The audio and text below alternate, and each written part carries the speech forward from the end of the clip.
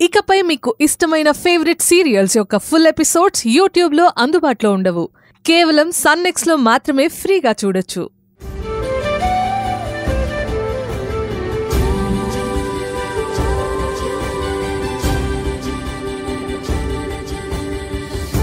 చాలా సంతోషం పూజారి గారు. సరే ఉంటానమ్మా. మంచిదండి.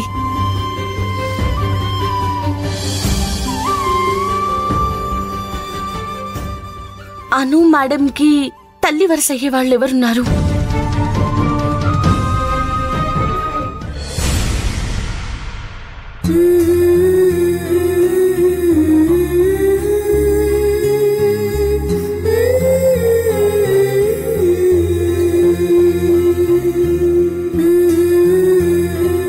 ఓకే రండి.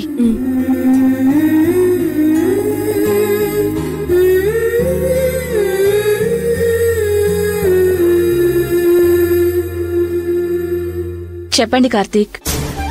సంతానం కావాలనే ఆలోచన మీదా మీ వైఫ్దా? అదేంటి మేడం అలా అడిగారు? తనకి గతంలో రెండు అబార్షన్స్ అయ్యాయి. ఒకసారి డెలివరీ కూడా అయ్యింది కదా. ఆ పాపైనా బాబైనా ఉండుంటారు కదా. హెల్దీగానే ఉన్నారా? పాప పురిట్లోనే చనిపోయింది మేడం. సారీ అనుగారు. ఏం డాక్టర్? మాను మళ్ళీ ఇప్పుడు ప్రెగ్నెంట్ కావచ్చు కదా? నేను మళ్ళీ ప్రెగ్నెంట్ అవ్వాలి. చిన్న ట్రీట్మెంట్ ఉంటుంది. దాని ద్వారా అయితే నువ్వు ప్రెగ్నెంట్ అయ్యే ఛాన్సెస్ ఉన్నాయి. Thank you doctor. నేను ఎలాగైనా మళ్ళీ ప్రెగ్నెంట్ అవ్వాలి. మా అమ్మకి నేను జన్మనివ్వాలి. మా అమ్మని నేను తొమ్మిది నెలలు మోసి నేను మా అమ్మకి జన్మనివ్వాలి. అదే నా కోరిక. మీకు సర్వైకల్ లెంత్ ప్రాబ్లం ఉంది.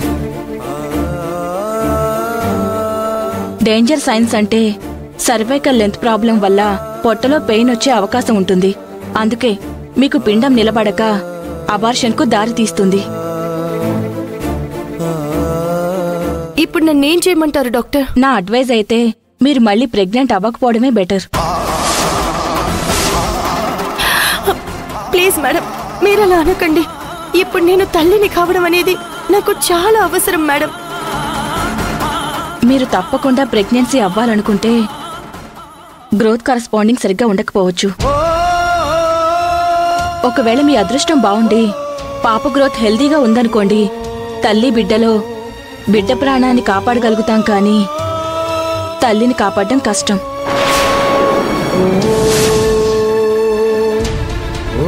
ఏం డాక్టర్ మీరు అనేది? నేను చెప్పేది నిజం. అను హెల్త్ పాయింట్ ఆఫ్ వ్యూలో ప్రెగ్నెంట్ అంటే హై రిస్క్ ఉంటుంది. లేదు డాక్టర్ ప్రెగ్నెంట్ అవుతానని మంచి మాట ముందు చెప్పారు. చిన్న ట్రీట్మెంట్ ఏదో ఉందన్నారు కదా మీరు వెంటనే ట్రీట్మెంట్ స్టార్ట్ చేయండి. డాక్టర్ గారు ట్రీట్మెంట్ వద్దు ఏమొద్దు. అను హ్యాపీగా ఉంటే చాలు. డాక్టర్ నేను ఈసారి ప్రెగ్నెంట్ అయితే నా కడుపున మా అమ్మే పుట్టపోతోంది అందుకే మీరు ఎలాగైనా నాకు ట్రీట్మెంట్ చేయండి డాక్టర్. ప్లీజ్. అదేంటమ్మా? నువ్వు ప్రెగ్నెంట్ అయితే నీ ప్రాణాలకే ప్రమాదం. నాకు ఏమైనా పర్లేదు డాక్టర్. నాకు మా అమ్మ కావాలి. మీరు ట్రీట్మెంట్ ఎప్పుడు స్టార్ట్ చేస్తారో చెప్పండి. Okay okay. ఇప్పుడే ఏమీ తొందర లేదు. ఇంకొకసారి ఆలోచించుకుని రేపు చెప్పండి మేడం. నా నిర్ణయంలో ఎలాంటి మార్పు లేదు మేడం. మేడం మేము రేపు వచ్చి ఏ విషయం చెప్తాం? ప్లీజ్ అను నా మాట విను. వెళ్దాం పద. కార్తిక్ ఏది ఏమైనా మా అమ్మ నా కడుపున పుట్టాల్సిందే. సరే అను. రా వెళ్దాం.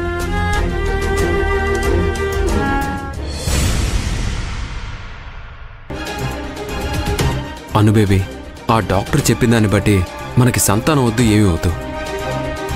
కార్తిక్ నాకు సంతానం కావాలి. ఈసారి నా కడుపున పుట్టబోయేది ఎవరో ఏంటో నీకు కూడా తెలుసు కదా. మా మమ్మీ. ఆ పంతులు గారికి ఏం పని లేదు. ఏదేదో చెప్పేస్తారు. ఇలా చనిపోయి వెంటనే మీ అమ్మ నీ కడుపులో ఎలా పుడుతుంది?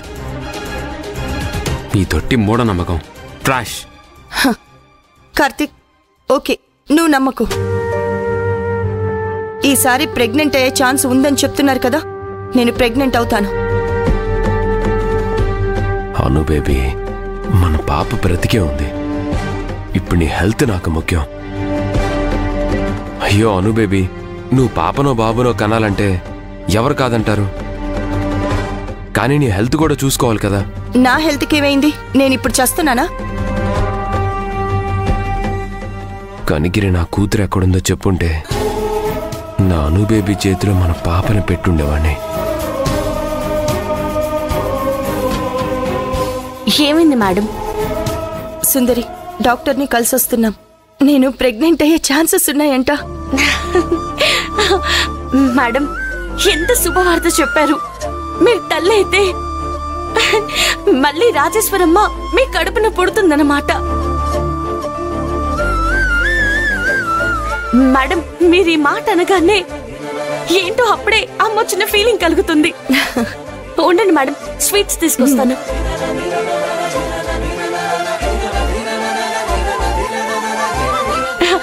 మేడం ఈ స్వీట్ తినండి. నేనే తినిపిస్తాను మేడం. ఆపుతావు సుందరి?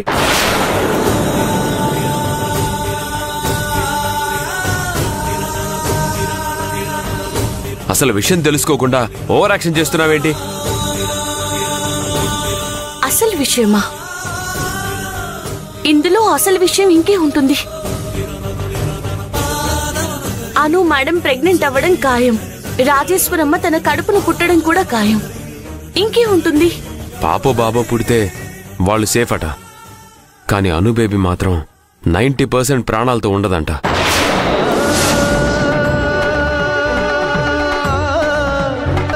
సుందరి నువ్వు ఇవన్నీ ఏం పట్టించుకోకు. ఎవరు ఏం చెప్పినా నేను వినను. మా అమ్మ తిరిగి నా కడుపున పుడుతుందంటే నేను చావడానికైనా సిద్ధమే. అంతేకాని నా నిర్ణయంలో ఎలాంటి మార్పు రాదు.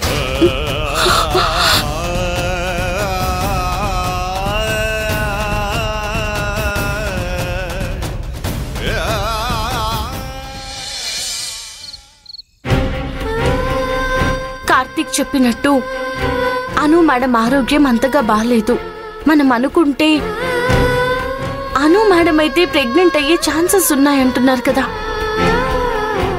ఒకవేళ కీడించి మేలించమంటారు కదా. అను మేడంకి ఏమైనా అయితే చచా ఏమీ అవ్వదు. రాజేశ్వరమ్మకి నేను మాటిచ్చాను. అను మేడం మళ్ళీ ప్రెగ్నెంట్ అవ్వాల్సిందే. తల్లి బిడ్డ క్షేమంగా ఉండాల్సిందే. అలా ఉండాలంటే నేనేం చెయ్యాలి? ఇది కదా నేను ఆలోచించాల్సింది.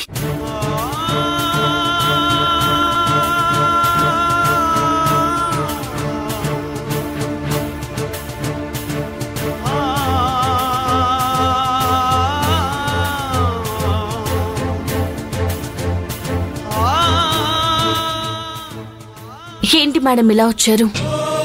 ఎందుకో పల్లవితో ఆడుకోవాలనిపిస్తోంది. పాప పడుకుంది మేడం. లేపమంటారా? ఆ నోనో పడుకోనివ్వు.